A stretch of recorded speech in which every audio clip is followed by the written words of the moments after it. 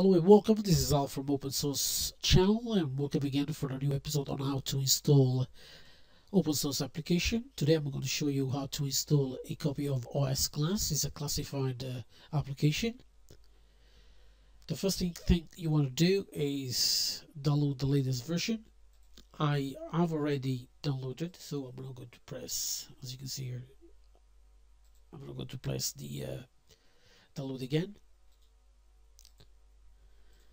right and I also right clicked and extracted in the same folder. Right don't forget you can follow me on uh, YouTube on my website on Twitter and of course you can follow me on Google Plus as well. Now the first thing I'm going to do is go to phpMyAdmin and going to create Osclass database. Once it's been done, it has already existed, so I've already done it. Here we go. This is the database I created. I'm going to upload the files to the server. I'm going to use uh, FileZilla. And what I'm going to do here, I'm just drag and drop and I'm going to wait until everything's done. So I'm going to pause it uh, and resume it as soon as finished. Alright so it's been uploaded. I'm going to close this folder. Minimize this for now. Go back to the browser. And I'm going to refresh the domain here. And there we go now the first thing going to have is an, error because it's never been installed.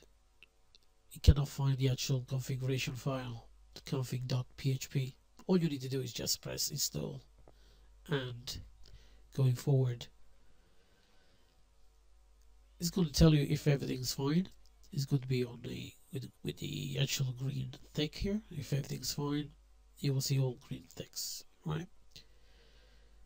It's up to you if you want to uh, you, you know if you want your site to be appeared to search engine like Google. And here also is up to you if you want to send the crash reports to Osclass. I usually leave that uh, both clicked. So I press run the install. Localhost is my host. Osclass is the name of the database. And here I'm going to put the username for my case it's going to be database. For you uh, you need to actually look at the uh, again your hosting service. You can create of course your own uh, username in uh, cPanel or Plesk now I'm going to insert my password. Again this is based on my user. Uh, if I go show here if I go to uh, let me see. Let me do this for a second.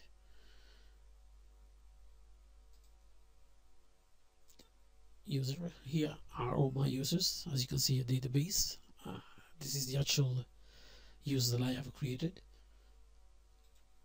So you can create your own. So I'm going to insert the database.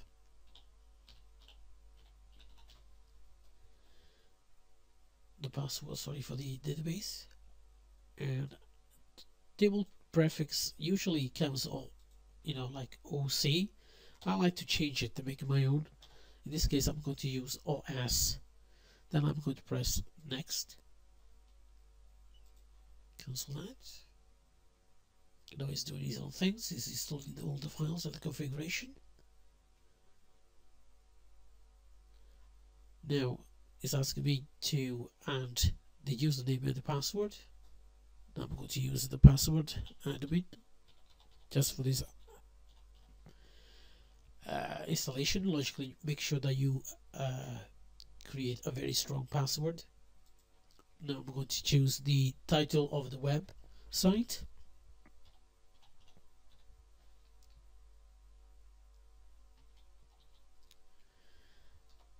And the email address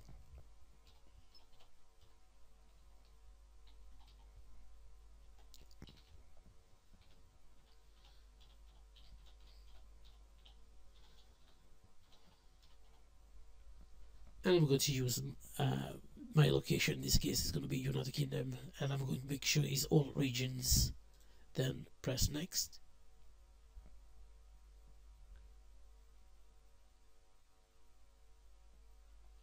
Yeah it's going to tell you again the username and the password. Is good you know I don't know why but uh, they actually make sure that it's in clear just in case you forgot I presume. But anyway this is the login password now I'm going to click on finish and go to the administration panel.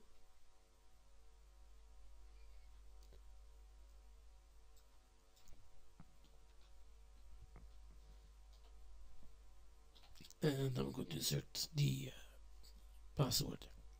In that case it was admin1234 I think uh,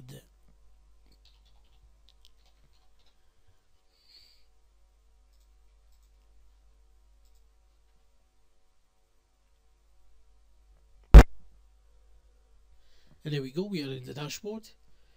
Now I'm going to show you the uh, the main website. And there we go you got the Osclass application installed on your server. I'm going to show you a little bit behind the scene. Uh, you got a lot of uh, information here. Sorry about this. My microphone is getting a little bit uh, old so I need to change it. Let's go to the uh, plugins. There's something I want to show you. You got like uh, Google Analytics and Google Maps already um, not installed but ready to be installed. Just by clicking install and then you can configure the analytics by clicking configure and track ID that's all you need to do if you click on plugins and market you will find more information on what they got like uh, plugins templates languages pack now here a lot of things are uh, premium so you need to pay for it. For the languages they'll come free. Templates usually they charge about 20 from $20 upward. Uh, this one is free I think and as you can see here some of the templates with uh, you know they're based on uh, the country. For example that's Italy Spain Brazil so on and so forth. These ones they look like they're also free. Now at the moment you cannot charge any money for the Osclass. It's like it's working as a, as a free. But if you would like to charge money for the advertising. What you're going to do is just go to market plugins and search for PayPal. This one is premium but there is also a free version. That's it. It's called payments. Just press on the load.